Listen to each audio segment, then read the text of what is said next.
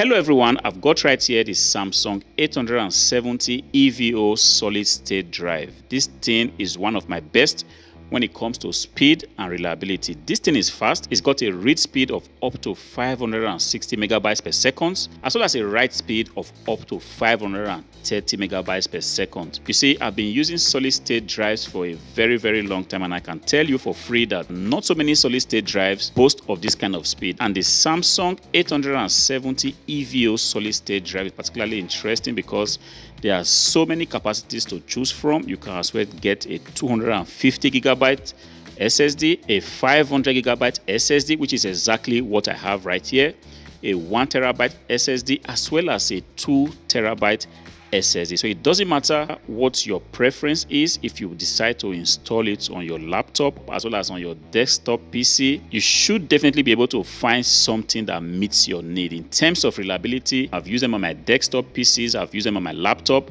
never ever had any issues with them. Typically copy large amount of files given that I make a lot of videos and never had any issues using the Samsung 870 EVO drive. If you decide to go for this drive, you're going to receive something that looks like this beautifully and professionally packed as to avoid any form of damage during transportation. The finishing is superb. In the spheres of solid state drives, not so many drive manufacturers go this length to deliver their drives to the market using super quality materials. The quality of this drive is definitely not in doubt and the manufacturers also have a very good reputation of making good quality items. As soon as I finish making this video, I'm going to go ahead and install this drive on one of my small form factor PCs where I'm going to be having the best experience like I've always done. Perhaps you are looking for a quality drive at the moment. I can honestly recommend the Samsung 870 EVO solid state drive.